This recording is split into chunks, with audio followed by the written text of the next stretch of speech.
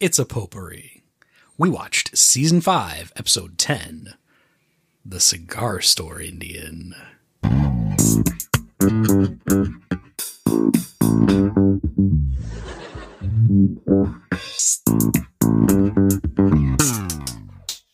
When you were editing the last episode, you sent me all of the YouTube, all of the names that YouTube used for us. Mm-hmm. Um, At one point, it started referring to us as Doctor so and so, and like Doctor someone else. Like it just uh, the the subtitling service does its best, but Why are they giving us crazy names? I don't know. But the one that comes up all the time is Stacy and Bowen. So I think we should just change our names. Are they trying to like voice match us to other people? Oh, maybe. If that's the case, I'd really like to hear the podcast by Dr. Galen Henson and Dr. Janelle Lampkin. I looked up Dr. Galen Henson. Does not exist. What about Janelle Lampkin? I didn't look her up. so you want to talk about this thing or Other names that it fo- called us are Krista and Brennan, hmm. and Drew and Shira, which I think. yeah, Drew and Shira, power couple. Do we have to talk about this episode? We don't have to do anything. This is our podcast. So, okay. How about we just do this right at the start? This episode has offensive things in it. Hmm. It's also about how offensive it is. Mm-hmm. So, we don't have to keep, like, convincing ourselves that we don't find it funny because we're good people, right? Like, let's just get that out of the way. Jerry said offensive stuff and then tried to make up for it. Kramer said offensive things the whole thing is in bad taste, but they know it is. I don't know. I have other problems with this episode.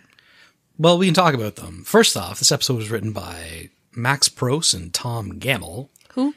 Uh, they wrote one episode before this, um, but they write a few every season until season seven, I think, or seven. Or, it was directed by Tom Cherones. It aired on December 9th, 1993. Screen Crush ranked it as the 107th best episode. Vulture.com had it as the 45th. What? I almost want to read the descriptions because You have to. What does Larry Fitzmaurice say about this? Ye of listicles and BuzzFeed quizzes. The Cigar Store Indian, like the Diplomats Club, it explores racial issues, this time by having Jerry accidentally, yet repeatedly, offend a potential Native American love interest. Also, George's father's TV guide collection is a sight to behold, and don't forget to stick around until the end for the incredible Al Roker cameo. I don't think you can tease an incredible cameo but then say who it is. I think we might have to change the definition of incredible. Yeah. Comparatively, ScreenCrush.com, Cigar Store Indian, nearly a one act play on the subject of obsession. There's Frank Costanza's fixation on his complete collection of TV guide, Kids Ask Your Parents, and the guy who finds the guide Elaine takes and his fixation on Elaine, plus Elaine's boss's fixation on a statue that belongs to Kramer. Frank confronting George over the condom wrapper he finds in his bed is one of the show's most exquisitely awkward moments. I like that synopsis and ranking better. Um, because they're right. It is it is an episode about obsession, among other things. I was almost thinking like that George storyline. I mm-hmm. think like there's enough there that that could be an episode. That was that was very funny. And while I was watching the episode, it was like switching between scene to scene Oh. to scene to Everything- scene to scene. My So my fast. notes are half a page because I just wrote down too much is happening, too quickly, hard cuts, can't write it all down. So I feel like these guys wrote this episode uh, separately, and then they're like, "Well, we gotta we gotta mesh them together." Yeah. Yeah, that was my big problem with this episode. Was structurally it is jarring. That was your big problem with this episode? Okay, that was my other big problem.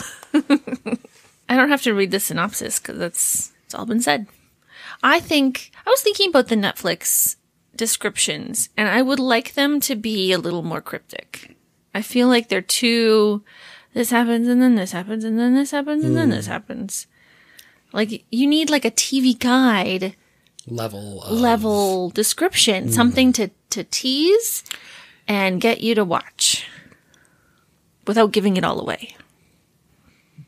Do you do you think Netflix is just like we don't need to put in good descriptions because nobody reads the descriptions. Possibly. You know, it's not a it's not a needle mover. It's like um We know you're going to watch this anyway. especially like especially for a show like Seinfeld where it's like a Yeah. show that's like, you know, 30 years old. So, So why have it at all then? well, I think you, you have to have it in case somebody reads it, but then if you don't know what Seinfeld is, I don't know. they don't need to fix it because nobody reads it. Except us. Okay, I'm going to stop reading it then. Maybe I'll just maybe I'll find the TV guide description of each episode from now on. I don't know if I can do that. Just call them. I need to find myself a collector. We have uh the name and address of a collector. He's got all the fall preview episodes Those are his favorite. He's been collecting them since the beginning. Since the beginning of what TV guide or TV? Since they've been doing fall previews. Oh, okay. So should we talk about this episode? Wait, stalling. Who are the guest stars? So we have Kimberly Guerrero playing the part of Winona. She was in Longmire, Reservation Dogs, The Glorias, and she was also a voice in the English dub version of My Neighbor Totoro. Oh. or my neighbor Craig. Uh, when they were releasing that film in Western markets, they were the you know distributors were debating what to call it, Anglicizing the name of Yeah. Totoro. and the name that the the studio that was distributing it came up with was Craig, my neighbor Craig, and the creator was like, I would not want to be called Craig. we're gonna we're gonna keep it Totoro. Sam Lloyd played the part of Ricky, the man who was obsessed with Elaine. He was uh, in Scrubs, Galaxy Quest, and Desperate Housewives. Well, I think I recognize him from Galaxy Quest. I mean, if you had watched Scrubs, you would recognize him from Yeah, Scrubs. well, I didn't watch Scrubs. Stay tuned uh, after we finish up Seinfeld for Scrubs cast. I didn't watch House either. Hmm. Would I rather rewatch House or? I mean, I didn't see all of House. I think I've seen all of Scrubs. Maybe I don't know. Hmm. Isn't this exciting? You have so much TV to introduce me to. Is Scrubs on Netflix? It's somewhere. Hmm, maybe on Crave. We also had C.K. Stiefel, who played the part of Sylvia. Who's that? She was the woman with whom George. oh. Uh, Drank prune juice. so she's a little bit more of a producer than an actress, but she was in. Can't read my writing. I love that one. I really can't read my writing.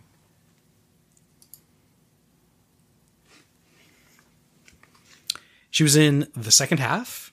She was the voice of Usyk, the Vanilla Sunday, in the Ace Ventura video game. she was also in the movie Frankenhooker.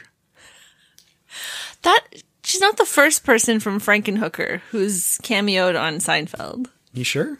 I don't think so Who because was in Frankenhooker? well, we got to look it up now because I recognize that. I'm going to be honest, none of these names are jumping out at me. so the opening stand up is about how you can tell the best year of, you know, your dad's life or an old man's life based off the style of clothing that he's wearing. He just like he gets to that year and he just like continues on. He doesn't stop buying new clothes. Somehow, somehow he finds new old clothes. Uh, so I've heard my sister and my mom talk about this theory that women lock in their style the year that they get married. Hmm. I don't think you can look at what anybody's wearing post pandemic and make any conclusions. Unless everybody got married during the pandemic and it's all, you know, The best Stretch. year of their lives. stretch pants and uh, oversized hoodies. Hmm. Would you say that I wear the same clothes that I wore when we got married? Never mind that they don't fit. but the same style. Essentially.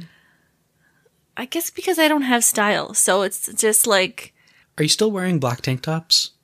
I have fewer of them than before. okay, but point taken. All right, what's your style? What's the best year of your life so far? know, jeans and a t-shirt. Hmm. So when you were eight? As a kid, I did not like wearing jeans. Oh yeah, I remember that. I mean, I never see you in them now, so I don't have a pair that fits me anymore. I just bought a pair of jeans today. Hard pants. what brand were they? Katie. There you go. Spelled my way. The that wasn't the brand, that was the like style like the hmm. the model or whatever it's called. I don't remember what the the brand was. But I, I feel like I can't take the tags off because it's got my name on them. Technically, they're Katie boyfriend jeans, so I mean, Who is he? I'll kill him. This might be worth it. It might not. Husky boys. Skinny prices. so we're still on the stand up. So the gang has gone bowling. Is this the morning? Did they go for a morning bowl? Mid afternoon bowl, I guess. Jerry's drinking coffee. Mm-hmm. The, so this whole episode starts weird. The four of them are in George's parents' house. Yep. So already we're thrown off kilter. Mm-hmm. And Kramer's not in the shot in the beginning, but they're there and they're talking about leaving there immediately because Elaine's got to go somewhere. It's like nothing. Nothing happens in mm. place for any amount of time. You're like entering the conversation like halfway through. yeah. Yeah. So you're trying to figure out why are they there? Wh- what were they doing? Where are they going? I didn't realize they had already been bowling. I thought they were going bowling. Like, just sloppy. Hmm. I guess it could have been better explained. I don't need it spoon fed to me, but like, I'm not enjoying it if I'm going, what? Hmm. Kramer comes in as he, he's eating some soap. I, I also had thought he had eaten the, the soap. Oh, he didn't eat the soap? I don't know. They, but they were. George was not that he had used the guest Yeah. soaps, but did he come in and say, "Are these candies?" I think he had tried to eat the soap. That was such a classic, like mid '90s, a a little formed fancy soap of a shell or like a little cherub or something. Uh, yeah, yeah. I can smell that soap. It smell like potpourri. If you were to mix it with uh, Dandruff, dandruff and kasha, kasha, mothballs, cheap carpet. That is basically Baba's house. yeah, I can smell that right now. Yeah, it's kasha. Kasha, I believe, is roasted buckwheat, or what's the stuff that you put on your uh, granola? I like uncooked buckwheat. Yeah, Kasha is roasted buckwheat. But then do you make like a porridge out of it? I think so. Oh. I don't like that. Because it smells like Baba's house. There's a huge bowl of those strawberry candies on the coffee table. And also giant glass grapes. Were those grapes? I think so. They were like bigger than golf ball sized grapes. yeah, they were like pool balls Yeah. in a bunch, but with a stem. It was it was grapes. Useless glass uh, centerpiece. Yep. Think how many coffee table books you could fit on that coffee table if you didn't have the glass centerpiece. Mm. So this is the first time that we hear about a coffee table book about coffee tables. I'm assuming it's not the last. How big of a storyline do you think they make it? Well, I've heard of this. Oh, okay. So I, does it go beyond this season? Oh, it goes. Okay. I was gonna say Jerry puts his cup on the table without a coaster and leaves a ring. Mm-hmm. They don't need to take it to a furniture place. They No. can just put a hair dryer to it. there, there's no attempt made to fix it themselves. Well, maybe they didn't know this, but I, I didn't know this until a nice table of ours had rings on it, and someone was like, "Oh, you just you just hair dry them out, and it works." Well, there you go. George, being a bald man, might not own a hair dryer. His mother probably does. She probably took it on vacation to wherever they drove to. She probably has one of those giant ones that you put over your head. Oh yeah, uh, like to set your cap. curls. Yeah. They could just set that on the table. So my next note is three dollar gyros. Looked like a good gyro. For three bucks, I think that's a good Yeah. deal. Edo. Euro? Well, th- well, three dollars and ninety three. That's like a nine dollar Edo now. How much does a Big Mac cost these days? I don't know, but we were at a hockey game where if the Senators scored three goals, you got three dollar Big Macs, and I'm like, aren't they like four dollars? Eh, you save a dollar. What's the deal with the Raptors and pizza? Don't you get What's the deal with the Raptors and pizza? don't you get a slice of pizza if they score hundred points or something? Uh, I don't think that's the case anymore. Now Oh. I think it's something to do with the number of three pointers they get. Oh, do you get three dollar Big Macs? I don't know what you get.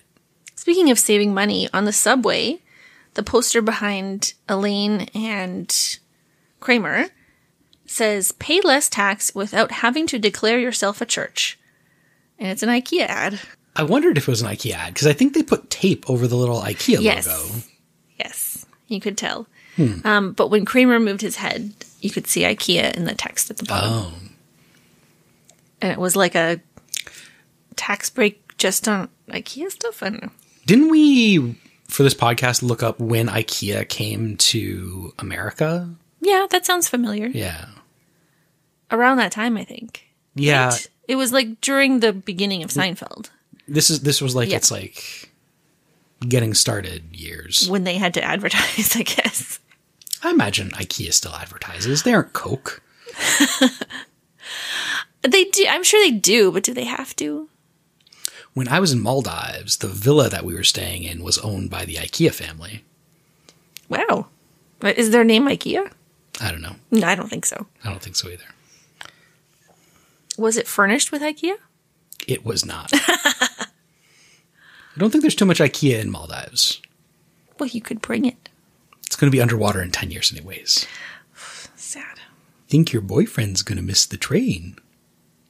This was one of the points where there was so much going on, and it was so weird that I didn't. I stopped writing, and I think I just sort of like my eyes opened wide at this creepazoid. You see, on this Tuesday here, you could have watched six hours of Lucy. He's a man who uh, just loves his TV. He loves his TV, and he instantly loves Elaine. We'll find out. We'll find out. He comes back too. Yeah. Oh, Forgot don't spoil it. Yeah. Sorry. in the antique shop. First of all, also you don't take your your furniture to an antique shop to be repaired. You take it there to sell it. Don't you? They could do repairs as well. I guess. So back in the antique shop Sylvia. Comes in late and the owner of the shop yells at her and she has a a very like New York Fran Drescher kind of accent and style and she immediately likes the boys with the nice car and is sort of flirting with George and uh, admires his coffee table and he says you know we see objects of great beauty and we must have them. And that line works Are you saying in this case it works? So like, hey, that line works. potato See potato objects of great beauty. I hope prune juice is all right. It was the only thing I had chilled. There's there's so many signs. Like, you know, is this your son in the bubble bath? Like prune juice, a lock on the liquor cabinet. How, do- how does this woman not clue in? It's the. But also, what normal people put a lock on their liquor cabinet hmm. if their adult son is living with them or not? You know, like, there's a lot of things going on here. Just like in this episode, maybe she's just overwhelmed with the kasha smell and can't hmm. process George has just swept this woman off her feet, and she uh, she's willing to ignore hmm. all of it. anything. Yep. So then we're at Elaine's. She's playing poker with her friends Winona, Joanne, Renee, and someone else whose name we didn't get. They're all wearing suit jackets, like they just came from work. They're business women. Yeah. I guess it's but it's it's not a work day because Elaine was bowling all afternoon. Yeah, so why are they dressed like that? It's fashion in the nineties. So uncomfortable. Um, I can tell something is going to be bad when your head turns to me. Oh, I was totally just watching you. looking at the TV. I want to see your reaction to what's going on. I know what's going to happen. I, in my mind, I remember it worse. How is that possible? You have to give Jerry credit that he recognizes he messed up. And yes, he's trying to date Winona, and that's his motivation for better behavior. But he's he's catching himself from saying things that are offensive. This is true. What's funny about that, though? Him like uh, I called ahead and made arrangements. Yeah. M- my problem with it is when like I hear the audience laughing, I don't know what they're laughing at, right? Because they could be laughing at the awkwardness of the situation, but they can also be laughing at the inappropriateness of the situation. No, I think they're laughing at the awkwardness. Mm. I, I don't think that's a problem.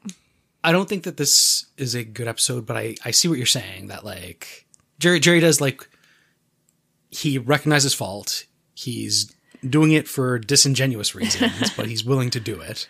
Last episode, I said Jerry's a terrible person. This one, um, he's working on himself, you know? For sex. Sure. Okay. So I wrote, I'm just that, that meme of the monkey puppet looking sideways and then looking forward. Yep. This whole episode. I'm going to make that the, uh, the image for the Instagram post. So Jerry's gone over to Winona's to to smooth things over, and she does not invite him up, but uh, she will come down to the street to talk to him. And he kind of, you know, says, you know, that's not who he is, and she spent any time with him. She'd realize that. Upon which uh, Kramer drives by and performs some ululations. Mm-hmm. Uh, and before is that before or after? I don't know if that's Jerry before or asks after. the uh, mailman if there are any good Chinese restaurants in the neighborhood. The mailman, being Chinese, Mm. takes offense to this. I think that when I was a kid, I didn't under, like. I was like, "Why would you ask a mailman?" I'd ask my parents that, and my dad was like, "Well, he works in the neighborhood, so he knows it." And I'm like, "Oh, that's why." Like, I didn't, I didn't get the good reason to ask the mailman. Well, being a child, you don't get much mail. So I mean, I'm an adult and I don't get much mail either. So when George's parents come home, he goes, How was your trip? Ah, your father. you laughed out loud at that line. I think that was the only time you like even like ha at it. The episode. What is this? A prophylactic wrapper? So the the the George story should be the A story. I think this is a good George story. I Yeah. think it's a strong, solid. You could carry an episode with this. Absolutely. But also, did George dye his hair? Did Jason Alexander dye his hair? I don't think so. It looked very black in this episode. Hmm. How does So through a series of circumstances, Kramer ends up at Pendant Publishing and Yeah. pitches the coffee table book about coffee tables to Mr. Lippman, who thinks it's a fabulous idea. And on the cover, there'll be a coaster. You're you're you're much more diligent about coasters than I am. I don't really think we had coasters in our house growing up. uh, I like our furniture. Okie dokie. Maybe because I brought the furniture into the relationship, so I'm diligent. I had that blue couch. That was a great couch. Uh huh. Which you gave away. Yeah. Oh, remember? Do you remember giving away that couch? Do you wanna- we should tell that story because that's way more entertaining than whatever we're going to talk about about this episode. Yeah. So your wonderful couch, which came from your parents' basement when, you know, 15, 20 years ago. What, 20, 22, 25 years ago. Yeah. That we couldn't fit down the stairs into our basement. So it's hopped around upstairs mm-hmm. and been moved around, and it was in my office most recently. And no one was sitting on it. I was just tossing things on it, and I needed space. So we we finally decided that we were going to get rid of it. And uh, I couldn't sell it, so I just gave it away for free. Trash nothing. Someone said, "I'll take it. Uh, I'll be there, whatever Saturday." And I'm like, gave the dimensions. It's gonna fit. Yeah, yeah, yeah. It's gonna fit. So we lug it down the stairs and we have it, you know, right right at right at our front door, ready for whomever arrives. They can pick it up, throw it in whatever vehicle they bring. This is like January, right? Oh yeah, it's like full on winter. So we couldn't just chuck it outside because it would get snowed on. we were we were on our way to an afternoon hockey game mm-hmm. and they were coming at like one and we were like if if they aren't here we'll just like leave it outside for Yeah. them and if it's gone when we come back like Great. that's what we want to happen Yep. would you like to describe the person that shows up and the vehicle that they're in So the person who shows up has I've you know decluttering. I've been giving away a lot of stuff. She had picked up something from me before. I never met her, but I had to leave it on the driveway because she couldn't. She she couldn't climb the stairs. we have three steps up to our front door They're kind of they're kind of awkward steps. They're big steps. Baba couldn't climb our steps. Anyway, I was kind of like, okay, you're gonna pick up the couch, like. But her son and her son's roommate were gonna come help her. Okay, fine, whatever. Um, she pulled up in like a 2009 Ford Edge with a completely flat tire. three wheels. She gets out of there, uh, driver's side. 65 year old woman with a medical cane. Nobody to help her put the couch in the car. Yeah. So I said, okay, get your shoes on, Derek. We're gonna move the couch. So I filled her tire with air. we popped her trunk. The trunk did not stay open by itself. Oh, we had no. to prop it up with like a hockey stick. Yeah, she had a special stick for it. If you're not familiar with the Ford Edge, it's not the longest of vehicles, but we put a you know full sized couch. You know the the back hatch did not close. No, but I mean, it's heavy enough. It's not going anywhere. And immediately after I had filled her tire and filled her car with the couch, her son and his friend showed up in a Toyota Yaris. Which was full of like IKEA shelves that they had picked up. She was getting it for their apartment, you know, for kids' first apartment, da da da. But I'm always surprised, like if we have a thing that we're getting rid of, the, the small vehicles that people think What was her plan? I don't know what her plan was. You remember we got rid of the L shaped couch and those kids showed up in a minivan? Yes. And they Tetris that into the minivan. They did. I was really impressed. Well, maybe this wasn't more entertaining than talking about this episode. I think it was. Hmm.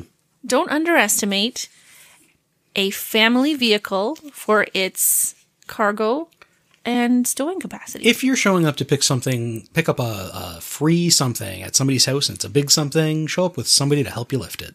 yeah. Especially if you're a 65 year old woman with one leg. She just thought our street had a lot of potholes. Oh, yeah. We're like, no, ma'am, your tire is completely flat. How far did you drive? Oh, follow up story. She told me, unsolicited, that she bought a new car. Good for her. I'm making friends in in the free cycling community. Wasn't that what your play was all about? Yes. Let's not bring that up. It's coming true. You All I have- look scrumptious.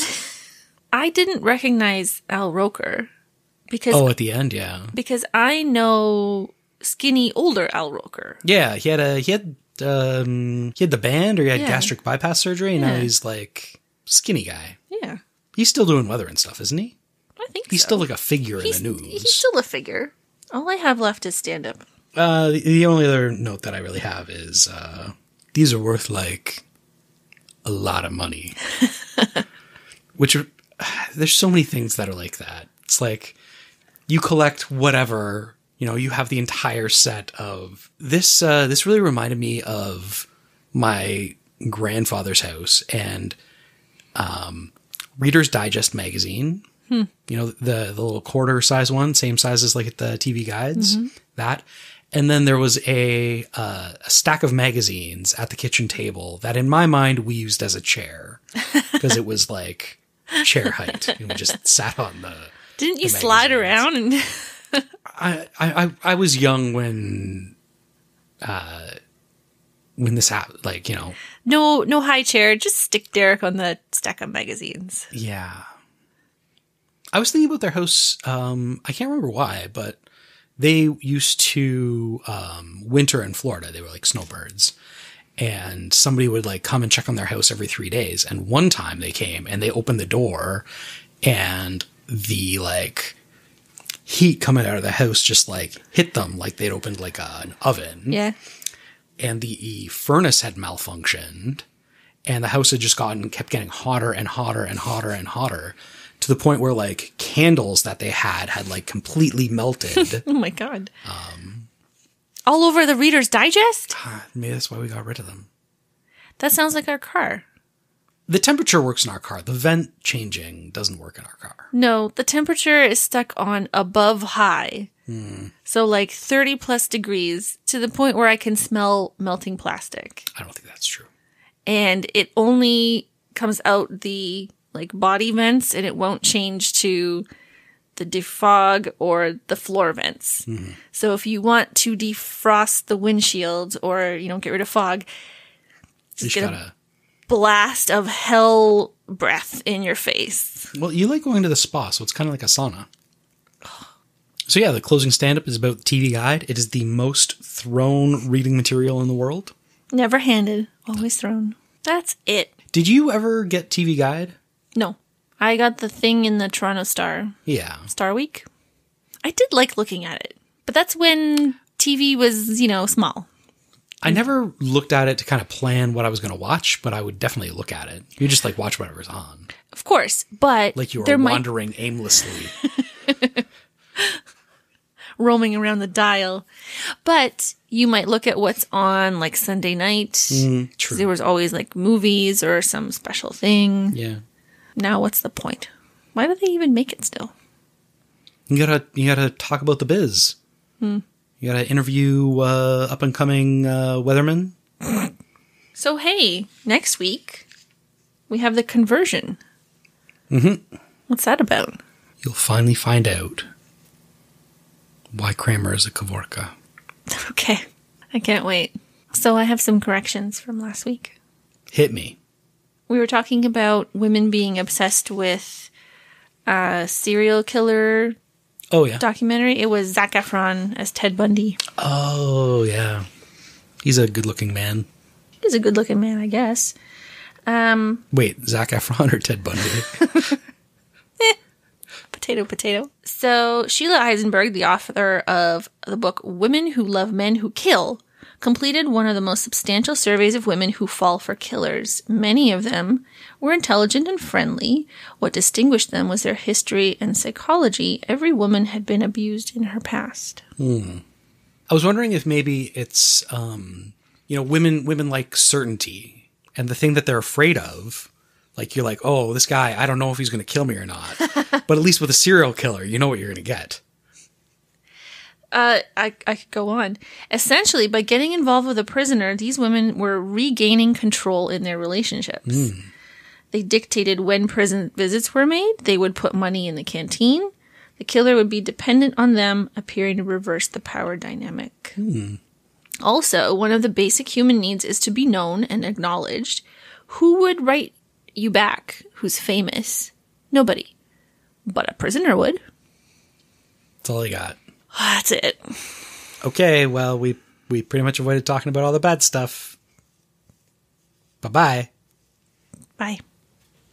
How come you didn't play the music last time? Believe it or not, this is our podcast. Please subscribe at the end. If you subscribed, we would be happy. Please subscribe to us. Believe it or not, it's our podcast. Is that a Seinfeld reference?